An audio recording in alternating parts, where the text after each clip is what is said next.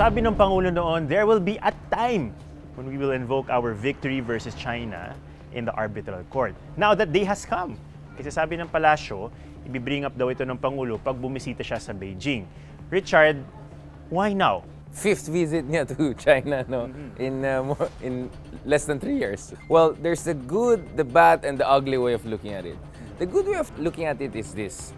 In fairness, since last week mukhang nagiging mas critical yung mga iba't ibang cabinet members, no? Si National Security Advisor Esperon, si Defense Secretary Lorenzana, even si Foreign Secretary uh, Teddy Boy Locsin, uh, nagsasampa sila ng mga protesta, nag-criticize sila sa China. So you can say na siguro ito ay continuation. Is this because of pushback. public uh, perception? or Uh, of public course, opinion? andun din yung surveys at of course yung actions ng China on the ground, yung swarming na ginawa nila sa Pag-asa at of course yung nangyari sa Reed Bank.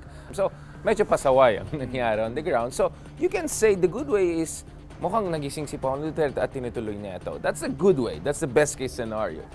The bad way of looking at it is, okay, let's say you invoke the arbitration award on a one-on-one basis. Obviously, China will reject that.